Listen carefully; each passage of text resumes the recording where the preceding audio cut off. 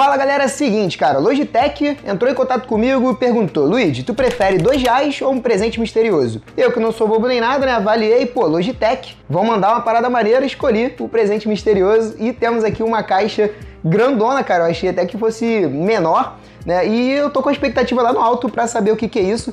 O pessoal da Logitech falou que só chegaram 5 unidades dessa aqui pro Brasil. E eu fui um dos que recebi, então me sinto honrado aí e queria já agradecer aí a galera da Logitech pela parceria. Para quem não sabe, galera, eu gravo vídeo aqui pro YouTube desde 2013, cara. Então lá se vão 11 anos, né? Quase que a matemática dá ruim. e a Logitech é parceira do canal, uh, tem aí mais ou menos uns 5 anos. Então, pô, agradecer aí, eles sempre mandam os equipamentos, e é uma empresa que está sempre fortalecendo aqui o trabalho. Enfim, chega de falar, que eu tô bem curioso também para saber, né, galera? Vamos abrir essa caixa aqui, cara. É uma daquelas caixas que é difícil de abrir. E eu não sei vocês, mas eu sempre tenho medo de passar o estilete assim e danificar o produto quando eu vou fazer unboxing, cara.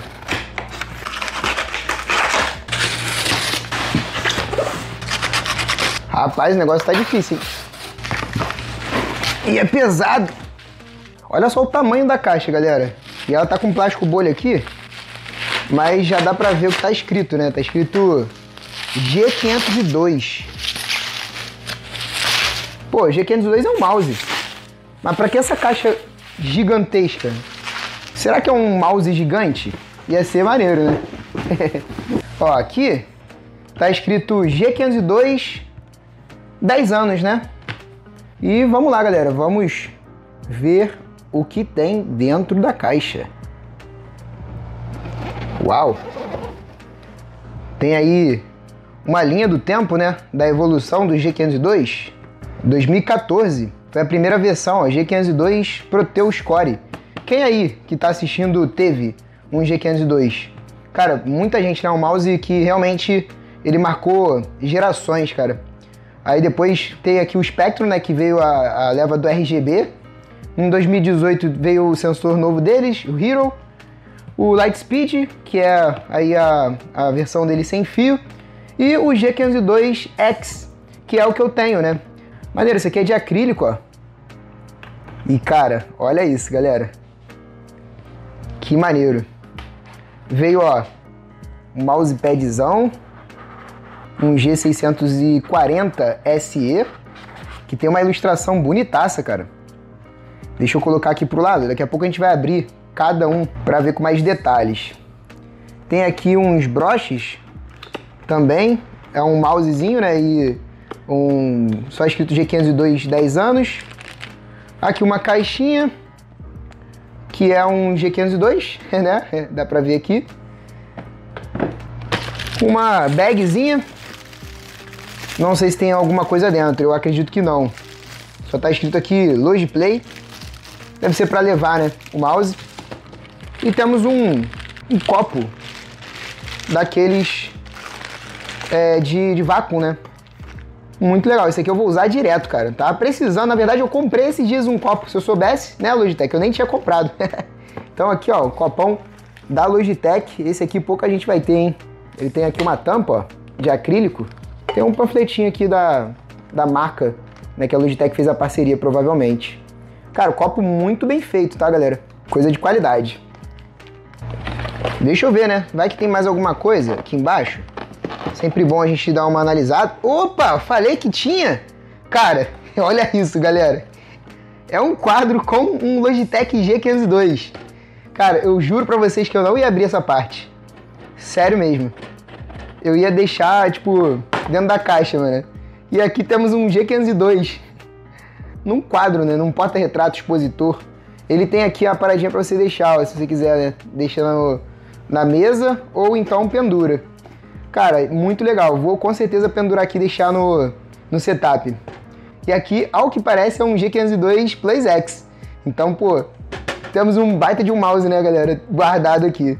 Vai ter gente que vai querer, né, tirar ele da, do quadro aqui com certeza.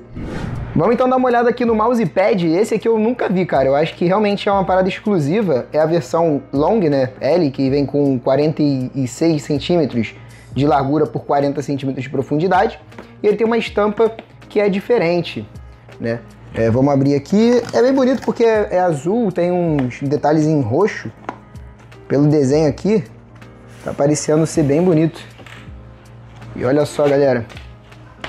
Ele é tecido, né? É um tecido um pouquinho mais especial, bem speed. Cara, achei muito lindo esse mousepad. Bonitaço. Eu acho que um XL dele, num setup all black, com alguns LEDs nessa cor, vai dar um visual muito maneiro, né? E ele é com borda costurada. Agora vamos abrir aqui o mouse, mas antes eu quero ver essa bolsinha. Se é só para carregar mesmo ou se tem alguma coisa dentro, né? Pô, eu tirei o fundo da, da caixa e tinha um outro mouse, né? Quem sabe aqui não tem... Ah, não, esse aqui dessa vez é só mesmo para carregar. É uma bagzinha cheia de compartimento. É bom, cara, pra mim que gravo, né? Coloco as paradas da câmera, é, enfim, microfone. Isso aqui vai ser bem útil. Isso aqui eu acho que eles não vendem, né? Só mesmo para esses casos. E aqui o G502 versão 10 anos. Será que tem alguma diferença, cara? Vamos abrir aqui, galera, e ver. A caixa, pelo menos, é diferente. Ele tem uma pintura da mesma cor do mousepad. Cara, vou falar pra vocês que deu vontade de montar um setup all black hein, nessas características aqui, galera. Muito maneiro. E é um, um G502X. Então é a versão mais top, né? Que dá pra trocar aqui o botãozinho. Pra quem curte um mouse com mais botões, esse aqui ele vai muito bem. É um mouse que eu recomendo tanto para quem vai jogar, por ele ter um sensor muito top, quanto também para quem vai trabalhar, porque ele tem vários botões macro, então pode ser bem útil aí para quem uh, tem que usar muito atalho, né? E tudo você consegue configurar através do software da Logitech. Ele também tem aqui um scroll com botões laterais, tem aquele lance do, do scroll infinito, né? Só você apertar aqui, ó. E aí o scroll fica diretão, como se fosse um rolamento. Apertou mais uma vez, você volta aqui pro scroll normal, né? Deixa eu ver se tem mais alguma coisa dentro da caixa, galera. Ah, tem, né? Tem aí o adaptador, caso você queira colocar ele mais próximo, né? E também o cabo USB-C, além do manual que está aqui dentro da embalagem. E galera, gostaria de mais uma vez agradecer aqui a Logitech por ter mandado esse presente. Ainda bem que eu escolhi o presente misterioso e não os dois reais, né? e pô, também agradecer a todos vocês aí que me acompanham aqui, né? Como eu falei, cara, o canal tem 11 anos, coincidentemente quase a mesma idade de quando foi lançado, né, o G502. Fazem 10 anos, cara, que tem esse mouse. E pô, Logitech, cara, é uma empresa que eu sempre admirei, é, não só agora que eu sou parceiro, né, mas desde sempre. É, quem me acompanha aqui há mais tempo sabe né, que eu sempre elogiei os produtos da Logitech, não é à toa, cara. É uma empresa que realmente tem muita qualidade, ela consegue suprir a necessidade desde o usuário mais básico, como um usuário intermediário, que nem eu aqui, né, que de vez em quando trabalha também no, no, no setup, não só joga, e também o Pro Player, cara, porque tipo, tem o Logitech G Pro X Superlight, que é o mouse mais utilizado por jogadores profissionais. Então é realmente aí uma empresa que merece a nossa admiração. Valeu? Bom, galera, um grande abraço a todos, até o próximo vídeo e fui!